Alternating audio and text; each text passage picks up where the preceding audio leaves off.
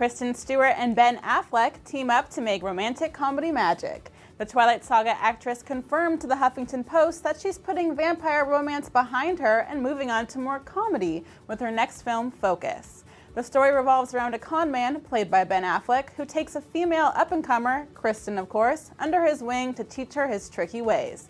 It's a comedy. I'm really excited about it. We start shooting in April, she revealed. Do you think Kristen and Ben will make a sexy on screen duo, or are you still Team Robsten for life? Let us know your thoughts in the comments and stick with us for more celebrity buzz from Celebified.